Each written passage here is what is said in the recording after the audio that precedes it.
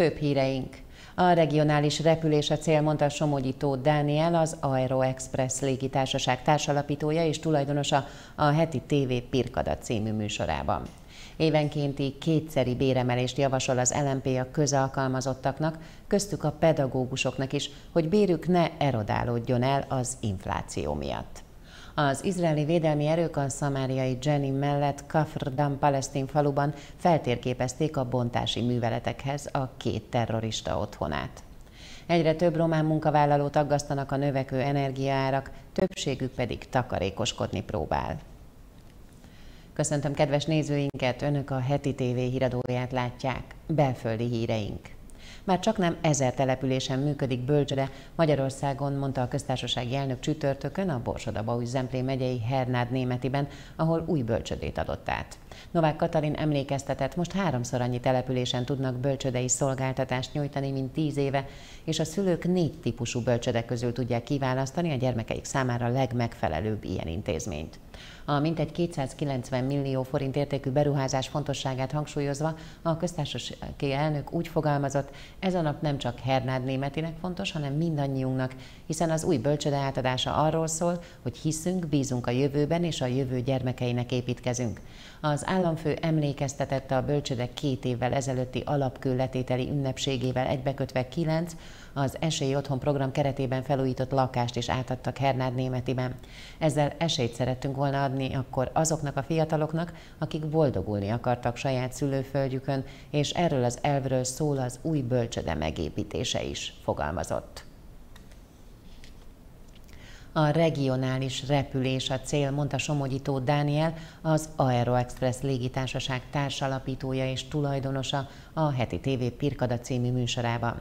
Elmondta, hogy egy finnországi, egyébként magyarok által irányított céget hoztak ide, szinte vissza Magyarországra, hiszen az Aero Express néven működött már cég, amely 1923-ban közvetlen magyar lajstromozású hidroplánokat indított Bécsbe. Ennek kapcsán megjegyezte, szeretnék újból beindítani a hidroplánnal való repülést, hiszen ez összeköti a repülést a hajózással, már rendelkeznek is egy modern géppel. Arra a kérdésre, hogy mennyire tartja fontosnak egy magyar, illetve nemzeti tulajdonú légitársaság működését, azt felelte, a Vizer Szellemi Központja Budapesten van, modern magyar lajstromozású gépek már repülnek Európába. Ugyanakkor az is igaz, hogy a repülési piacon van helye a kárgó és a regionális repülésnek is. Azt is látni kell, hogy a nagyobb társaságok gépeivel nem éri meg a regionális repülés. Kiemelte az Aero Expressnél fontosnak tartják, hogy a regionális repülés a céljuk. Már el is indultak az első járatok Budapestről és Debrecenből Erdélybe, Kolozsvárra, Temesvárra és a Székelyföldre, mondta. A magyarok ezer éve hisznek abban, hogy nincs nemzet a családok nélkül, és csak a családok adhatják át a haza identitásának és szuverenitásának alapját, ezért köteleződött el a kormány 12 éve a családbarát ország építése mellett, mondta a Kulturális és Innovációs Minisztérium családokért felelős államtitkára. Hornung Ágnes a Kereszténydemokrata Néppárt nőtagozatának női érdekképviselet a Keresztény Demokráciában című konferenciáján kiemelte, a nők visszatérése a munkavilágába a társadalom és gazdaság oldaláról is fontos, ezért a kormány határozott lépéseket tett a munka és a családi élet összhangjának megteremtéséért. Bevezették, hogy a munkáltató, ha kérik az érintettek, köteles napi négy órás foglalkozást biztosítani a gyermek négy éves koráig, három vagy több gyermekes szülők esetében a legkisebb gyermek hat éves koráig. A gyerekek után járó pótszabadságot pedig már mindkét szülő igénybe veheti. Megemlítette azt is, hogy a munkahelyvédelmi akció révén 2020-ban átlagosan mintegy 11 ezer kisgyermekes szülő részesült munkahelyvédelmi kedvezményben 1,8 milliárd forint értékben. Évenkénti kétszeri béremelést javasol az LMP a közalkalmazottaknak, köztük a pedagógusoknak is, hogy bérük ne erodálódjon el az infláció miatt. Az ellenzéki párt emellett azonnal 45%-kal emelné meg az érintettek bérét. Kanász Nagy Máté, az ellenzéki párt országgyűlési képviselője ismertette, ősszel kerülhet az országgyűlés elé ez a javaslatuk, amely szerint január 1-én és július 1-én is emelkedne a közalkalmazottak jövedelme a megelőző fél év inflációjának megfelelően. Rekordinflációs időszakot élünk, ami a pedagógusoknak csak nem egy havi jövedelmét emészti fel, indokolta a javaslatot a politikus. Külföldi híreink. Az izraeli védelmi erők a szamáriai Jenny mellett Kafr Dan palesztin faluban feltérképezték a bontási műveletekhez a két terrorista otthonát, akik szerdán egy tűzharc során megölték Bár Falah őrnagyot. A művelet során palesztin fegyveresek tüzet nyitottak, molotov koktélt és robbanó szerkezeteket dobtak az izraeli csapatokra, akik viszonozták a tüzet, és az összecsapás során letartóztatták az egyik terroristát. A palesztin hatóság egészségügyi minisztériuma szerint az izraeli hadsereg tevékenysége során egy 17 éves palesztint agyonlőttek. A palesztin molotov koktélt dobott az izraeli erőkre a Judea és Szamáriában zajló biztonsági eszkaláció hátterében Jenin kormányzója Izraelt okolta az északi városok Jenin és Sehem helyzetének romlásáért. Benny Gantz védelmi miniszter elrendelte a Jamalak és Szalem ellenőrző pontok további értesítéséig történő lezárását, az incidenst követően. Gantz szerint a palesztin hatóság egyik biztonsági tisztjének részvétele a terrortámadásban komoly és figyelmeztető jel a palesztin hatóság számára, melynek önvizsgálatot kell végeznie és cselekednie kell. 80 orosz nagyvállalat képviselőiből álló küldöttség látogat Iránba a következő héten, írta a RIA Novosti orosz állami hírügynökség Vladimir Putyin orosz elnökre hivatkozva csütörtökön. Putyin üdvözölte az iráni-orosz kapcsolatok fejlődését. Az orosz elnök a Sankhái Együttműködési Szervezet Samarkandi csúcs találkozóján nyilatkozott, miután találkozott Ebrahim Raisi iráni elnökkel. Putyin hozzátette, mindent megtesz, hogy Irán a csoport integráns részévé váljon. Jelezte, Moszkva és Teherán számos kérdésben közeli vagy azonos álláspontot képvisel. Ebrahim Raisi azt hangsúlyozta, hogy az amerikai szankciókkal sújtott országok együttműködve számos problémán kerekedhetnek felül és erősebbé válhatnak. Az Egyesült Államok Iránra nukleáris programja, Oroszországra pedig az ukrajnai háború miatt szabott ki büntető Volodymyr Zelenszky ukrán elnök közlekedési balesetet szenvedett Kijevben, de nem sérült meg súlyosan, közölte szóvivője csütörtökön egy közösségi bejegyzésben. Szerhisz Nikoforov, aki nem közölte, hogy mikor történt a baleset, azt mondta, hogy Zelenszky autója egy személygépkocsival ütközött. Az elnököt orvos vizsgálta meg, nem találták súlyosnak a sérüléseket, mondta.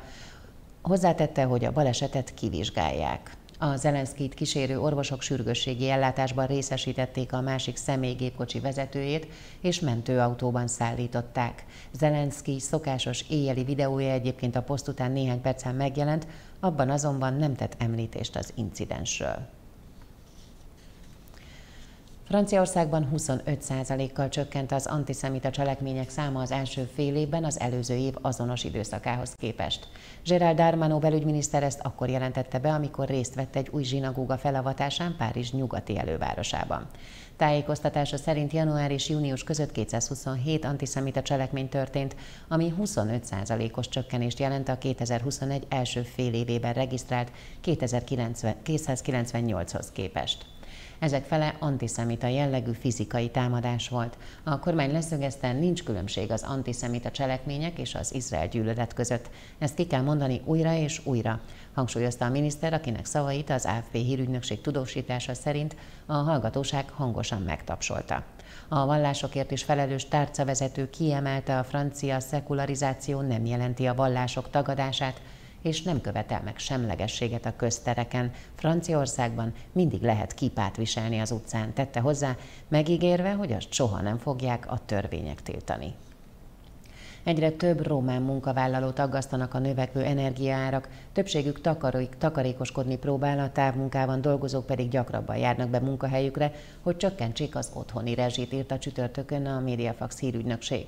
A koronavírus világjárvány egészségügyi és társadalmi kihívásai után a 2022-es esztendő gazdálkodási próbatételt jelent a munkavállalók számára, ezért az energetikai válság és az infláció következményeinek átvészelése érdekében 80%-uk takarékoskodással próbál felkészülni a közelgő tél kiadásaira.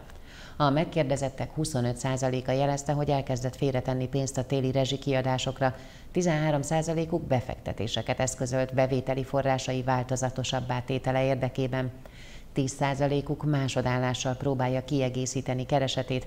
A válaszadók 35%-a mondta, hogy télen takarékoskodni fog, hatékonyabbá téve energiafelhasználását, míg 20%-uk úgy értékelte, hogy az energiahordozók drágulása nem befolyásolja anyagi helyzetét. A 15%-ot meghaladó infláció negatív hatásainak kivédése érdekében a megkérdezettek alig 3%-a mondta azt, hogy infláció követő munkaszerződése van, úgyhogy a növekvő kiadásokat fedezni fogják a kialkudott béremelések. A többiek a kiadásaik csökkentésére kényszerülnek. Híreinkről bővebben a braillepress.com vagy a hetitv.com-on olvashatnak, és most röviden az időjárásról.